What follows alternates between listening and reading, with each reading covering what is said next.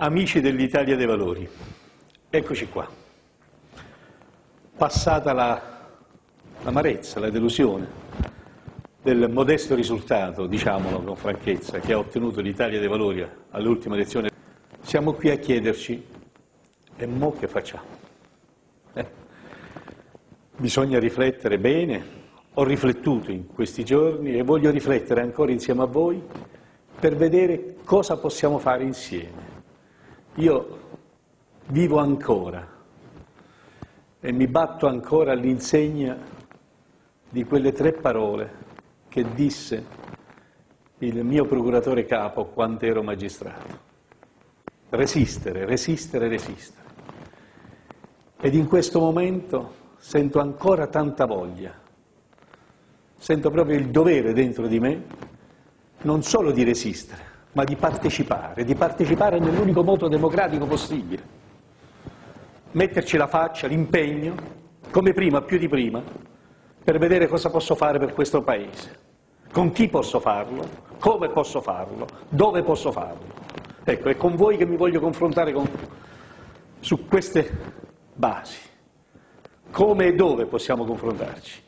Io credo che possiamo solo farlo ricominciando da capo e ricominciando non dall'alto, ma ricominciando dal basso, ricominciando cioè incontrandoci tutti insieme, magari in un'assemblea generale come abbiamo fatto a Basto tanti anni fa, eh, vedendo in faccia tutti quelli che vogliono partecipare per ricominciare in una nuova Italia dei valori, perché quella che è passata, quella per cui siamo stati puniti dagli elettori, diciamola francamente, era un'Italia dei valori che conteneva al proprio interno tanti intrusi che hanno sputtanato, lasciatemelo dire, l'Italia dei valori.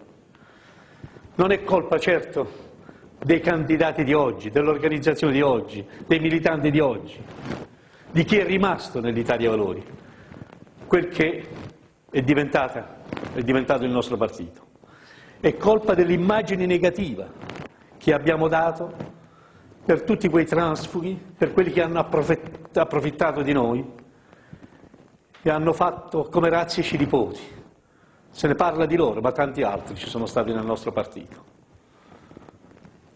Ed oggi, guardando a domani, che cosa possiamo fare?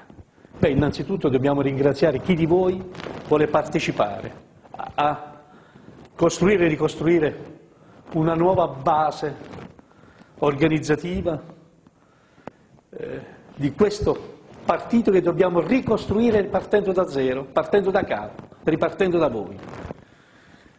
Certo, oggi non è come ieri, oggi non si viene nell'Italia dei valori per incassare qualcosa, si può venire, si può partecipare all'Italia dei valori soltanto per dare qualcosa, non più per prendere qualche posto gratuitamente e poi mollarci ad andarsene.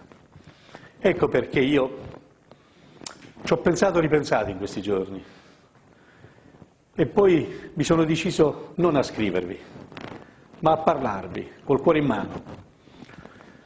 Abbiamo davanti quest'estate, ma subito dopo l'estate io credo che sia necessario, o magari a fine estate, che sia necessario che ci incontriamo tutti nuovamente è per questa ragione che intanto e da subito comincerò, per quanto mi riguarda, a incontrare regione per regione quelli che vogliono incontrarmi.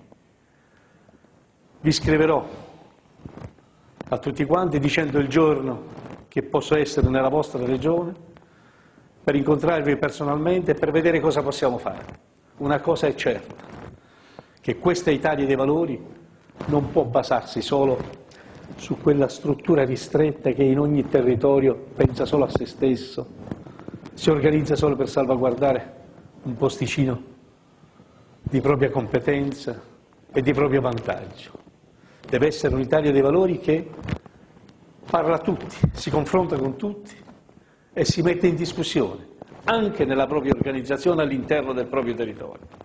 Perché questa chiusura che abbiamo subito in questi ultimi tempi all'interno delle nostre strutture, unitamente a questa non chiarezza di prospettiva e di impegno che, con cui abbiamo agito in questi ultimi tempi ci ha portato a essere ignorati. D'altronde, piaccia o non piaccia, il cittadino guarda cosa fai in concreto. È per questa ragione che voglio tornare alla concretezza di un partito che si impegna mettendoci la faccia e il proprio nome. Io il mio nome, la mia persona, voglio continuare a mettercelo e mi affido a quelli che di voi vogliono rimettersi in discussione, ricominciando da capo attraverso una base che individua la propria struttura organizzativa fino ai massimi vertici ed attraverso un impegno nel territorio su fatti concreti e non su poltrone da conquistare. Ci rivediamo quanto prima, per ora vi auguro un, una buona riflessione anche a voi ed aiutatemi a fare meglio quel che non sono riuscito a fare in questi ultimi tempi. A presto.